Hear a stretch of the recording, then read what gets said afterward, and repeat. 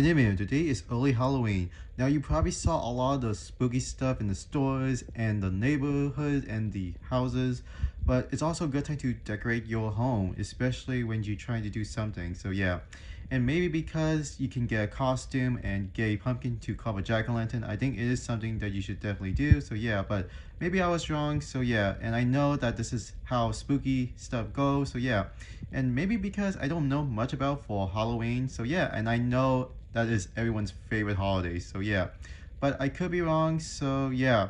Anyone else? So uh, yeah, I mean, there's not much I can say for Halloween, but maybe if you have something to know about, so yeah. And I know it has been a tradition for a lot of years, so yeah, but hey, you can't go wrong with something spooky, so uh, yeah. And hopefully that's just how I feel for all things, so yeah. Maybe because that's just the whole thing about Halloween, so uh, yeah. Anyone else? So yeah, that's what I have for early Halloween, and I hope I'll see you next time. Goodbye.